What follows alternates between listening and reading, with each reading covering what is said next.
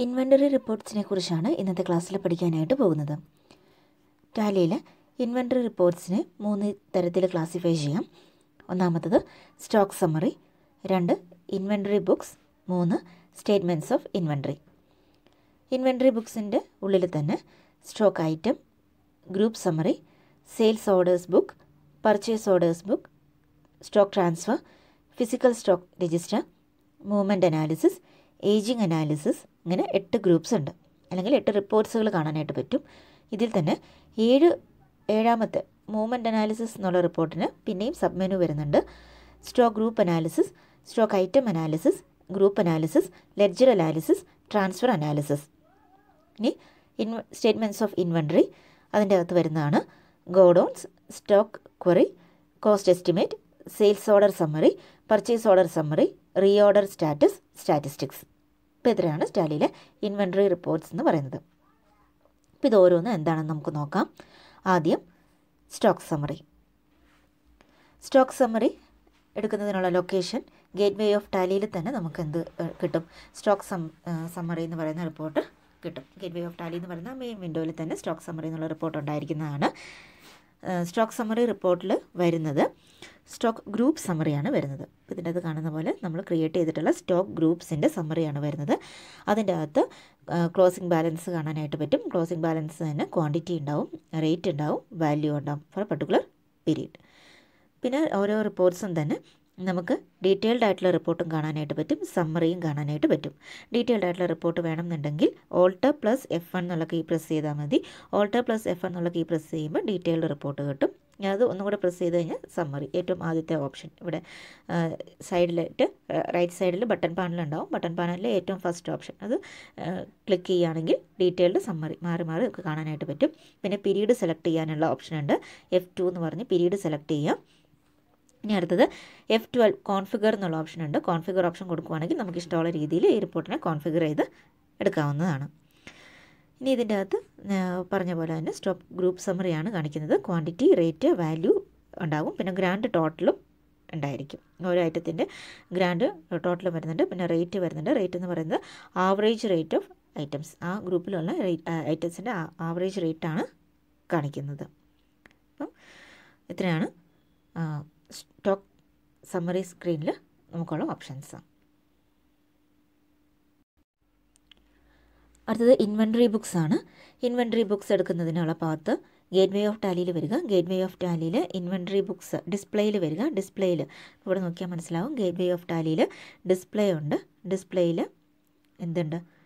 Inventory books എന്നുള്ള option ഉണ്ടായിരിക്കും. Gateway of ടാലിയിൽ നേരിട്ട് സ്റ്റോക്ക് സമറി എന്നുള്ള ഓപ്ഷൻ ഉണ്ടാവും. ഗേറ്റ് വേ ഓഫ് ടാലിയിൽ ഡിസ്പ്ലേയിൽ വന്നു കഴിഞ്ഞാലാണ് നമുക്ക് ഇൻവെൻട്രി ബുക്ക് എന്നുള്ള ഓപ്ഷൻസ് കാണാനായിട്ട് പറ്റുന്നത്. ഈ ഇൻവെൻട്രി ബുക്കിൽ തന്നെ പിന്നെ ഒരു സബ് മെനു വരുന്നുണ്ട്. അതിന്റെ അകത്ത് stock item group summary sales orders book purchase orders book stock transfer physical stock register movement analysis ageing analysis അത്ര ഓപ്ഷൻസ് ഉണ്ട്. ഇതിൽ മൂവ്മെന്റ് അനാലിസിസിന് തന്നെ നമുക്ക് പിന്നെയും സബ് മെനു വരുന്നുണ്ട് stock group analysis stock item analysis group analysis ledger analysis transfer analysis ഇത്രയാണ് inventory ബുക്സിൽ വരുന്ന റിപ്പോർട്ട്സുകൾ ഇതെടുക്കുന്ന പാത്ത് ഓർത്ത് വയ്ക്കുക ഗേറ്റ് വേ ഓഫ് ടാലിയിൽ ഡിസ്പ്ലേ മെനുവിലാണ് ഇൻവെന്ററി ബുക്സ് ഉള്ളത്.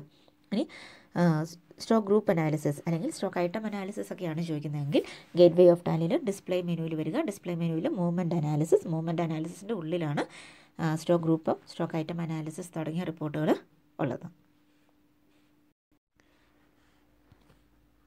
സ്റ്റോക്ക് ഐറ്റം സ്റ്റോക്ക് ഐറ്റം എടുക്കുന്നതിനുള്ള ലൊക്കേഷൻ എന്ന് പറയുന്നത് ഗേറ്റ് വേ ഓഫ് ടാലിയിൽ ഡിസ്പ്ലേയിൽ inventory books. Gateway of ടാലിയിൽ വരിക അവിടെ നിന്ന് ഡിസ്പ്ലേ ഓപ്ഷൻ എടുക്കുക. അതിൽ നിന്നും ഇൻവെൻട്രി ബുക്സ് സെലക്ട് ചെയ്യുക. അതിൽ നിന്നും സ്റ്റോക്ക് ഐറ്റം സെലക്ട് ചെയ്യാം സ്റ്റോക്ക് ഐറ്റം എന്നുള്ള റിപ്പോർട്ടിൽ കാണാൻ പറ്റുന്നത് നമ്മൾ ഇതുവരെ ക്രിയേറ്റ് ചെയ്തിട്ടുള്ള എല്ലാ സ്റ്റോക്ക് ഐറ്റംസിന്റെയും ലിസ്റ്റ് ആയിരിക്കും.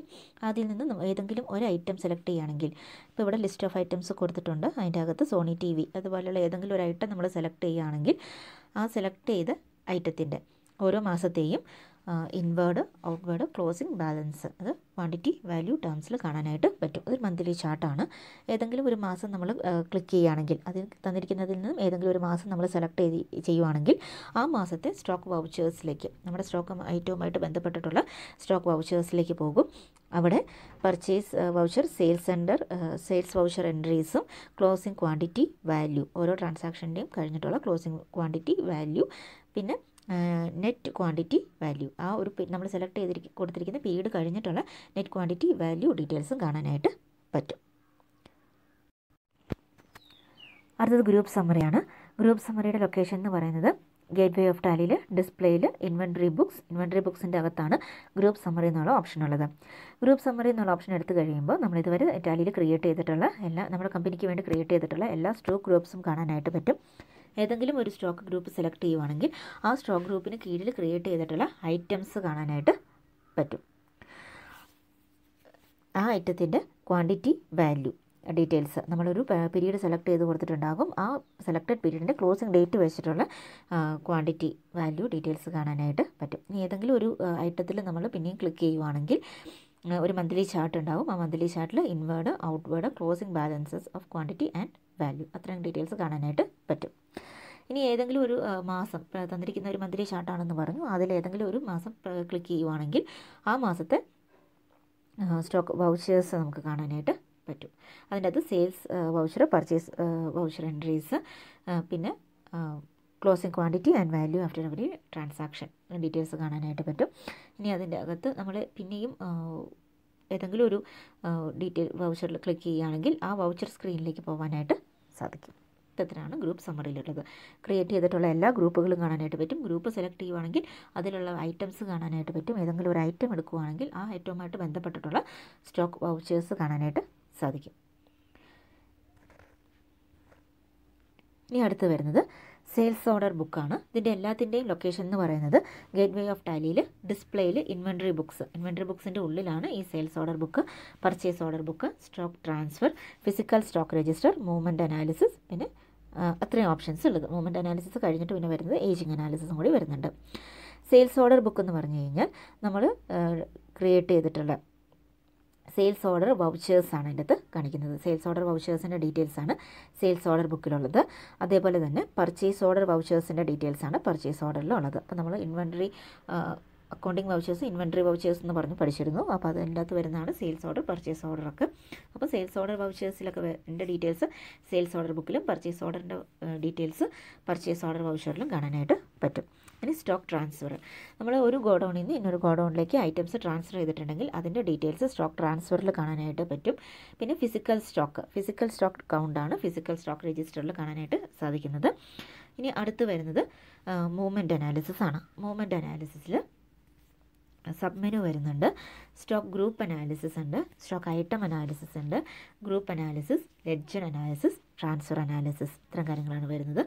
ഇതെല്ലാം സ്റ്റോക്ക് ഗ്രൂപ്പ് അനാലിസിസ് ഒക്കെ ആണെങ്കിൽ മൂവ്മെന്റ് അനാലിസിന്റെ താഴെയുള്ള സബ് മെനു ആയിട്ടായിരിക്കും വരുന്നത്. അത് ഗേറ്റ് വേ ഓഫ് ടാലിയിൽ ഡിസ്പ്ലേയിൽ ഇൻവെന്ററി ബുക്സ് പിന്നെ മൂവ്മെന്റ് അനാലിസിസ് ഇങ്ങനെയായിരിക്കും വരുന്നത്. ഇത് നോക്കാം. അതിന് മുന്നേ ആയിട്ട് മൂവ്മെന്റ് അനാലിസിസിനൊപ്പം ഉള്ള ഏജിങ് അനാലിസിസ് ഉണ്ട്. അപ്പോൾ ഏജിങ് അനാലിസിസ് എന്താണെന്ന് നോക്കിയിട്ട് തിരിച്ചു വരാം. ഏജിങ് അനാലിസിസ് എന്ന് പറഞ്ഞു കഴിഞ്ഞാൽ നമ്മൾ ഏജിങ് ഡീറ്റെയിൽസ് ആയിരിക്കും വരുന്നത്. അപ്പോൾ നമുക്കതിൽ സ്റ്റോക്ക് ഐറ്റത്തിനെ നമ്മൾ ക്ലാസിഫൈ ചെയ്യുകയാണ്. അതായത് age less than twenty five days പിന്നെ twenty five to ninety days പിന്നെ ninety to eighty one eighty days greater than one eighty days old ഈ രീതിയിൽ നമ്മുടെ സ്റ്റോക്ക് ഐറ്റത്തിനെ നമുക്ക് സ്റ്റോക്ക് ഗ്രൂപ്പിനെയും അതിന്റെ ഐറ്റത്തിനെയും നമ്മൾ ക്ലാസിഫൈ ചെയ്തിരിക്കുന്നതാണ് ഏജ് അനാലിസിസ് അപ്പോൾ ഓരോ ഐറ്റത്തിന്റെയും ഏജ് അതാണ് കാണിക്കുന്നത്. Less than forty five days ഏജിൽ വരുന്ന സ്റ്റോക്ക് ഗ്രൂപ്പ്സ് ഏതൊക്കെയാണ്? അതിന്റെ ഐറ്റംസ് ഏതൊക്കെയാണ്? ഫോർട്ടി ഫൈവ് ടു നയന്റി ഡേയ്സിൽ വരുന്ന stock group item then ninety to one eighty days greater than one eighty days ഈ രീതിയിലുള്ള ഏജിങ് അനാലിസിസ് ആണ് ഏജിങ് അനാലിസിസ് എന്നുള്ള റിപ്പോർട്ടിൽ കാണാനായിട്ട് പറ്റുന്നത്. നമുക്ക് മൂവ്മെന്റ് അനാലിസിസ് ഡീറ്റെയിൽ ഡീറ്റെയിൽഡ് ആയിട്ട് നോക്കാം.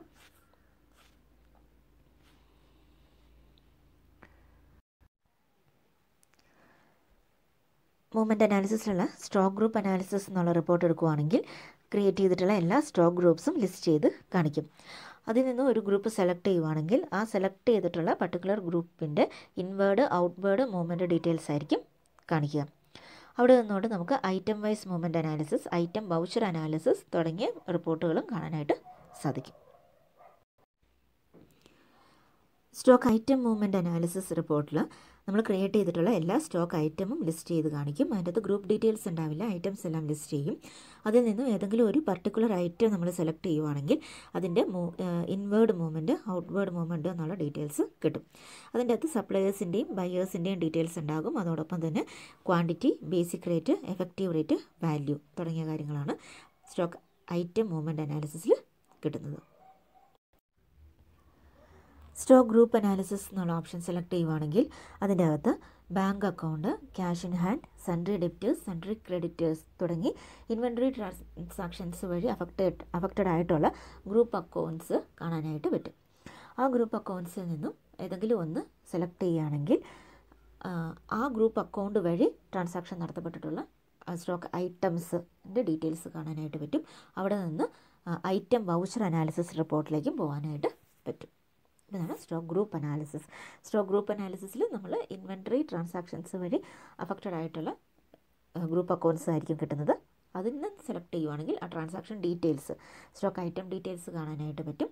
അവിടെ നിന്ന് ഐറ്റം വൗച്ചർ അനാലിസിസ് റിപ്പോർട്ടിലേക്ക് പോകാനായിട്ട് പറ്റും. ഇനി അതുപോലെ തന്നെയാണ് ലെഡ്ജർ അനാലിസിസ് വരുന്നത്. ലെഡ്ജർ അനാലിസിസ് നമ്മൾ നേരത്തെ പറഞ്ഞത് ഗ്രൂപ്പ് അനാലിസിസ് ആയിരുന്നു പറഞ്ഞത്. ഇവിടെ വരുന്നത് എന്താണ്? ലെഡ്ജർ അനാലിസിസ് ആണ് വരുന്നത്. അപ്പോൾ ഇൻവെൻട്രി ട്രാൻസാക്ഷൻ അല്ലെ this holds the list of individual ledger accounts like cash account vendors account customers account bank account etcetera which are affected by inventory transactions inventory transactions നടത്തുന്നത് നടത്തിയിട്ടുള്ള ലെഡ്ജർ ലെഡ്ജർ അക്കൗണ്ട്സ് ആണ് നമ്മൾ കാണാനായിട്ട് പറ്റുന്നത്. ഏതെങ്കിലും ഒരു ledger നമുക്ക് സെലക്ട് ചെയ്യുവാണെങ്കിൽ ആ അക്കൗണ്ട് വഴി നമ്മൾ ട്രാൻസാക്ഷൻ നടത്തിയിട്ടുള്ള ഐറ്റം ഡീറ്റെയിൽസും ആ വൗച്ചറിന്റെ ഡീറ്റെയിൽസും കാണാനായിട്ട് പറ്റും. ഇനി അവിടുന്ന് വരുന്നത് ട്രാൻസ്ഫർ അനാലിസിസ് ആണ്. ട്രാൻസ്ഫർ അനാലിസിസിൽ വരുന്നത് transfer analysis report shows the transfer of goods from one centre to another ഒരു സെന്ററിൽ നിന്നും അനദർ വേറൊരു സെന്ററിലേക്ക് ഗുഡ്സ് ട്രാൻസ്ഫർ ചെയ്തിട്ടുള്ള ഡീറ്റെയിൽസ് അതല്ലെങ്കിൽ issue of materials from stores to production centre for consumption അപ്പം പ്രൊഡക്ഷൻ സെന്ററിലേക്ക് കൺസെപ്ഷന് വേണ്ടിയിട്ട് മെറ്റീരിയൽസ് ഇഷ്യൂ ചെയ്തതിന്റെ ആണ് ട്രാൻസ്ഫർ അനാലിസിസിൽ കാണാനായിട്ട് പറ്റുന്നത്. ഒരു സെന്ററിൽ നിന്നും ഇന്നൊരു സെന്ററിലേക്ക് ഗുഡ്സ് ട്രാൻസ്ഫർ ചെയ്തതിന്റെയും അതേപോലെ തന്നെ കൺസെപ്ഷന് വേണ്ടിയിട്ട് മെറ്റീരിയൽസ് പ്രൊഡക്ഷൻ സെന്ററിലേക്ക് ട്രാൻസ്ഫർ ചെയ്തതിന്റെ ഇഷ്യൂ ചെയ്തതിന്റെ ഡീറ്റെയിൽസ് ആണ് ട്രാൻസ്ഫർ അനാലിസിസിൽ കാണാനായിട്ട് പറ്റുന്നത്. അപ്പോൾ ഇത്രയും കാര്യങ്ങളാണ് അഞ്ച് കാര്യങ്ങളാണ് മൂവ്മെന്റ് അനാലിസിസിൽ വരുന്നത്. മൂവ്മെന്റ് അനാലിസിസിൽ വരുന്നത് stock group analysis stock item analysis group analysis ledger analysis പിന്നെ വരുന്നത് ട്രാൻസ്ഫർ അനാലിസിസ് അടുത്തത് സ്റ്റേറ്റ്മെന്റ്സ് ഓഫ് ഇൻവെൻട്രി എന്നുള്ള ഓപ്ഷനാണ് സ്റ്റേറ്റ്മെന്റ്സ് ഓഫ് ഇൻവെൻട്രി എന്നുള്ള റിപ്പോർട്ടിൽ കിട്ടുന്നത്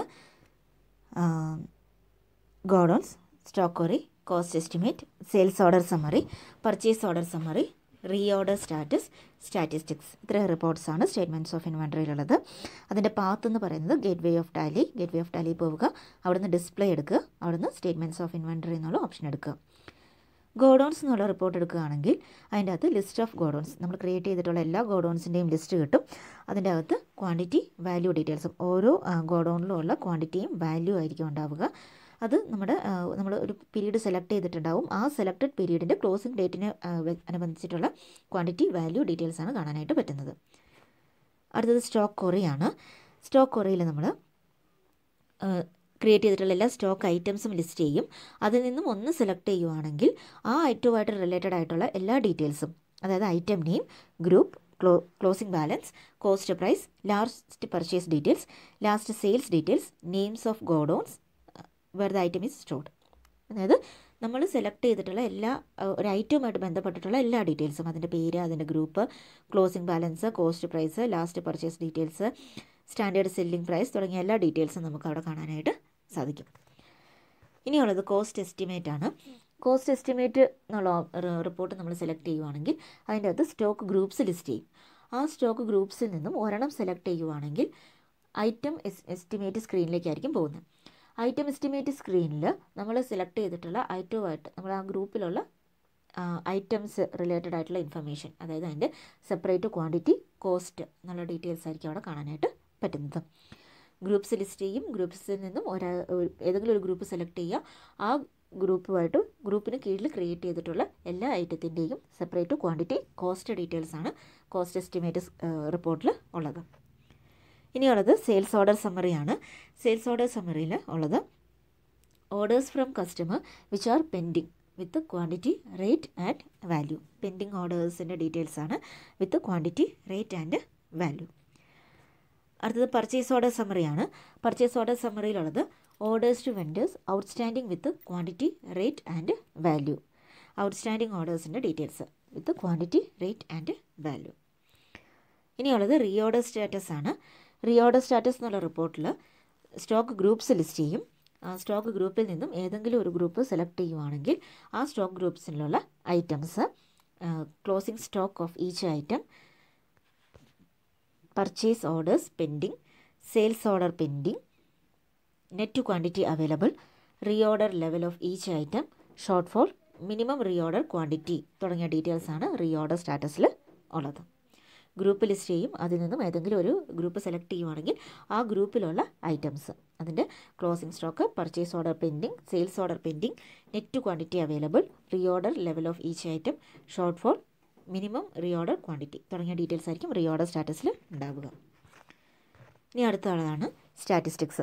സ്റ്റാറ്റിസ്റ്റിക്സ് എന്ന് പറഞ്ഞു കഴിഞ്ഞാൽ നമ്പേഴ്സാണ് നമുക്ക് മെയിനായിട്ടും കിട്ടുന്നത്. എത്ര ഗ്രൂപ്പ്സ് ക്രിയേറ്റ് ചെയ്തിട്ടുണ്ട് എത്ര ലെജേഴ്സ് ക്രിയേറ്റ് ചെയ്തിട്ടുണ്ട് ഇതിന്റെയൊക്കെ നമ്പേഴ്സാണ് സ്റ്റോക്ക് ഗ്രൂപ്പ്സ് എത്ര എണ്ണം ക്രിയേറ്റ് ചെയ്തു സ്റ്റോക്ക് ഐറ്റംസ് എത്ര എണ്ണം ഉണ്ട് എത്ര ഗോഡൗൺസ് ക്രിയേറ്റ് ചെയ്തിട്ടുണ്ട് എത്ര വൗച്ചർ ടൈപ്സ് നമ്മൾ യൂസ് ചെയ്തിട്ടുണ്ട് യൂണിറ്റ്സ് എത്ര എണ്ണം ക്രിയേറ്റ് ചെയ്തിട്ടുണ്ട് ഏതൊക്കെ കറൻസീസ് ആണ് നമ്മൾ യൂസ് ചെയ്യുന്നത് എത്ര ബഡ്ജറ്റ് ക്രിയേറ്റ് ചെയ്തിട്ടുണ്ട് തുടങ്ങിയ ഡീറ്റെയിൽസ് അതോടൊപ്പം തന്നെ നമ്മൾ ക്രിയേറ്റ് ചെയ്തിട്ടുള്ള വൗച്ചർ ടൈപ്സ് വൗച്ചർ ടൈപ്സ് നമ്മൾ ക്രിയേറ്റ് ചെയ്തിട്ടുള്ള വൗച്ചർ ടൈപ്സ് അതിന്റെ പേരും.